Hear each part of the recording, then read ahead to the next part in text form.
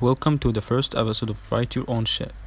In this episode, I'll be writing a simple spinning wheel, animating the wheel, and getting the result.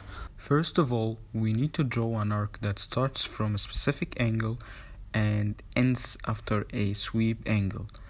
With basic math, we know that we can get the sweep angle by dividing 360 by n.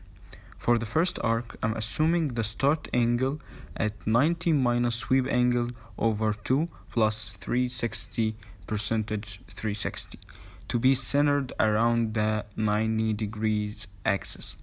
Notice that the angles in the arc are counting clockwise. The arc number i will start at start angle plus sweep angle multiplied by i percentage 360. I'm always using percentage 360 to avoid any headache I don't know about. Now we need to get the edge points of uh, the arc on the circle's border to be able to draw a line from the center to the arc edges, which makes us able to distinguish each arc from the others. So, we have the first case if the angle of that line is less than 90 uh, it's easy to know uh, as you can see y equals center dot y plus r sine theta. And x uh, equals center dot x plus r cosine theta. That's basic math. If the angle is more than 90 and less than 180 we do the same but in the x-axis we subtract instead of adding because it's the same uh, as the last one but mirrored to the other direction uh, if the angle is more than two, 270 and less than 360 we only subtract r sine theta instead of adding it a similar concept to the last one. When the angle is more than 180 and less than 270 it's a tricky one. At this time y equals center dot y minus r cosine theta. Also x equals center dot x minus r sine theta. So we mirrored the angles too. Cool we now know how to draw the arcs we know how to draw lines to surround the arcs now let's do the animation actually i wanted to create something great so i used laplace transform for this one if you don't know Laplace, don't worry, we are not using it heavily. I'll try and explain how it works. Okay, we have the wheel we are supposed to push with some force called torque because it's a rotational movement. Also, there is a friction which resists this force and it's the reason this wheel will stop eventually. There is also some factor called J you don't need to know about. Now, according to Newton law, we can say the force T minus the resisting force B theta dot, which is uh, the angular velocity, equals J theta double dot, which is the angular acceleration. Cool. Now we need to know the theta, which is the angular displacement, which we are actually looking for. We need to know at time t what is the displacement theta. So to get theta, we have to solve this equation, which seems to be hard. So using Laplace transform, I can solve this one easily. T of t becomes t of s, and theta dot becomes s theta of s, and theta double dots becomes s squared theta of s. So solving this equation, we get this result. Now we just need to reverse the result. Now we've got an equation with theta in the left hand side and t on the right hand side the other values are constants t of t may be a function but it's also a function of t so we have what we want now let's start coding I've written some boilerplate code for you like creating new custom view and creating a possibility object that has a title data and text size as parameters then I added x and y coordinates of the center, also the radius, start angle, and the sweep angle. I added a paint for filling the arcs, a paint for the borders, and another one for the text written on the possibilities. Also, I've drawn an oval to see how it looks.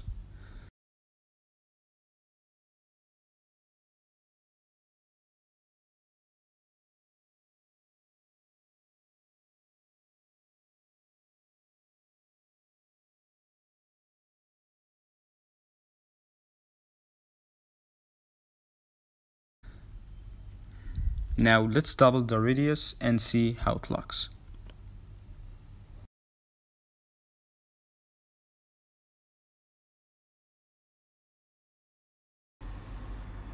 Let's first draw an arc to see the process step by step. First, set the sweep angle for 120 flow. Go to the possibility. In the draw function, change the fill paint color, then draw an arc with the oval we created, start angle 0, sweep angle specified previously, false for the use center parameter, and the fill paint. Let's move the fill and stroke paths to the center so when we draw a line to any point, the line starts from the center. Before drawing a line, we need to find the point we are going to. We can find this using the math formula we created before. The first point we need to draw a line to it is the point on the starting of the arc. So the angle is start angle. The second point is the end of the arc, which is start angle plus sweep angle. As we are drawing using the fill style, the whole area between the points and the path will be painted using the specified color. Also using the stroke paint, we draw some kind of border to the arc from X and Y to the specified point. Then we move to the second point without drawing a line since we don't need to draw a line between the two points. Now let's draw the two each with its paint. Looks good, huh? What about deleting that ugly black oval? We still need to draw a text. We first save the canvas state so we undo the rotation we are going to make. Then we rotate the canvas to be with some angle in the middle of the start and the end and we set the center to be the x and the y. Then we draw text. Uh, I'll be removing these ugly manual margins but in the future because I don't really know how to optimize it but I'll find a way in the coming video. Uh, don't worry. Now restore the canvas state so the next arc can be drawn peacefully. We are done with the possibility object. Let's go to the view in the view, I have added a radius possibility array, a method to set the array, and overridden the onMeasure method to set the radius to the minimum of the width and height. Also, I added some ugly margin to the actual width and height of the view which we will change in the coming video.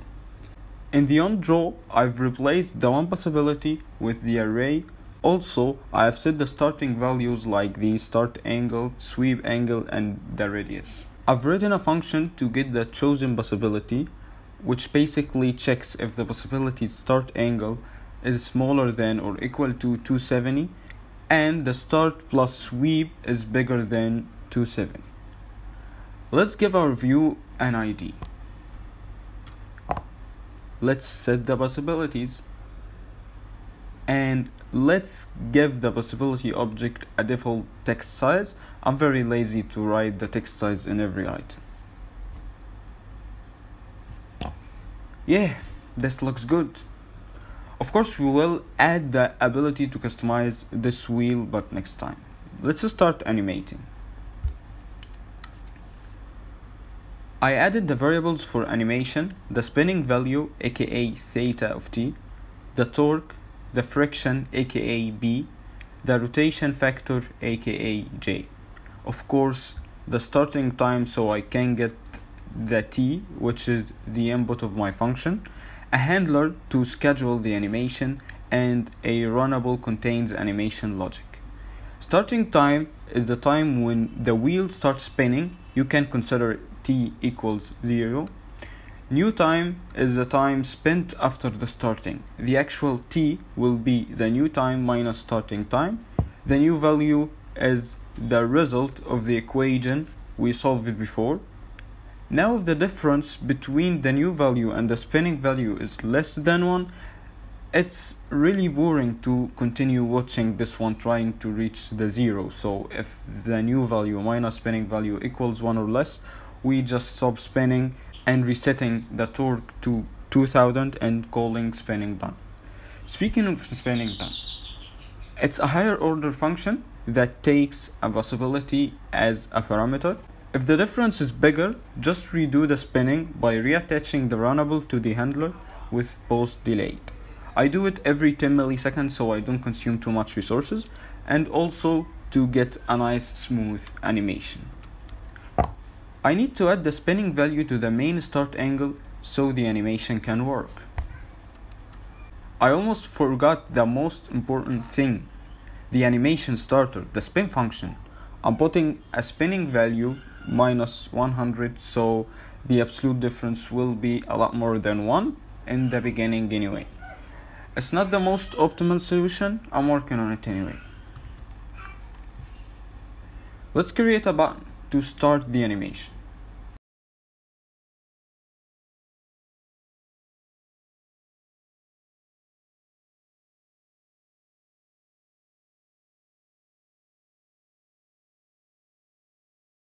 I'm using it so the more the user touches the button, the more the spinning torque increases.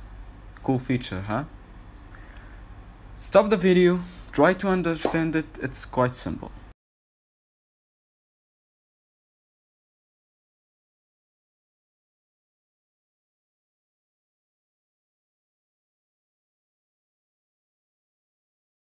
Now, let's add the on spinning done.